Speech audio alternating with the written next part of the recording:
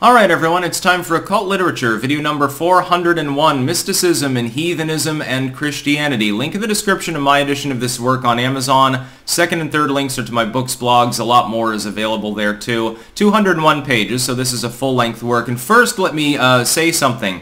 Uh, I had a couple of works that were shared out and loaded on Amazon. But then a work got bounced because I forgot to put it in as public domain because it's an edited work and they've shifted how they do this now as opposed to being my own copyright, which I mean it is, but you know, they, they do the legalese thing now. And then they actually retroactively removed one of the other works. Uh, be because of the same setting differential. So I also removed the other one just out of an abundance of caution. So now I have to, to go back through all of these. It won't take too long, they're already edited, but I just thought I'd point that out for the timeline's purpose. Anyway, this particular work is very good.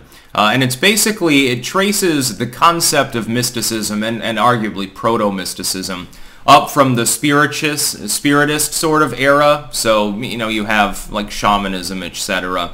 Um, in antiquity. Uh, through high antiquity, of course, ancient Greece. It talks about the Persian mystics. It talks about Egypt, certainly and traces it up through that into the biblical era uh, with Judaism a bit, and then into Christendom, and uh, shows sort of the, the morphing over time of these mystic traditions, the basic premise of mysticism, and, and there are sort of different subforms of that. You, you can research that more for yourself from the mysticism header on the books blog if you want.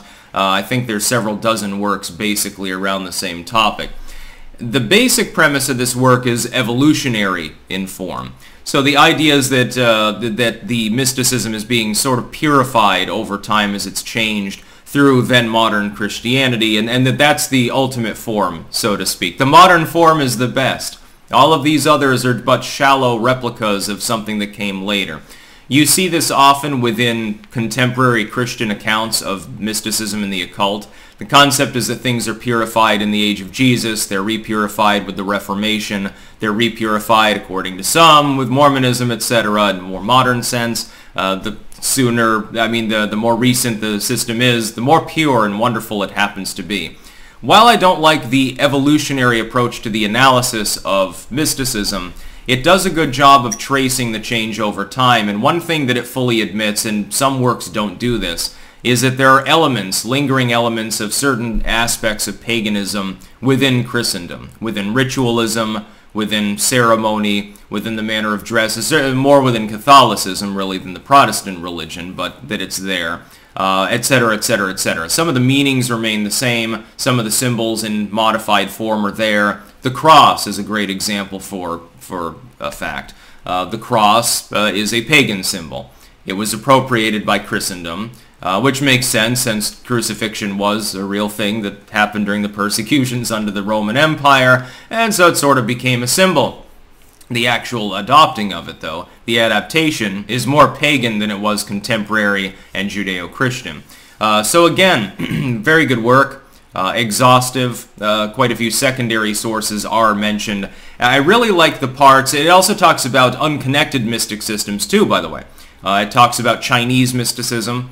It talks about Indian mysticism. These don't really lead into what became Christendom. Uh, th there was contact. There was an interplay through the Persians, especially. Some people say that Jesus the Essene wandered around and uh, in, in, as far as India, basically. We're not sure about this. Uh, the historical timeline is a bit vague. Um, it even talks about unconnected systems. And again, it talks about the, the purification of doctrine over time. One thing that I found funny, and Western commentators typically do this, is talking about Confucius and Lao Tse, and there was a bit of a grudge between them, and how Lao Tse's teachings were ultimately more mystic, better, uh, you could say, and it's sad, it was rendered as sad that China had gone more with Confucius and his teachings, leading to some of the problems they had in the 19th and into the 20th centuries.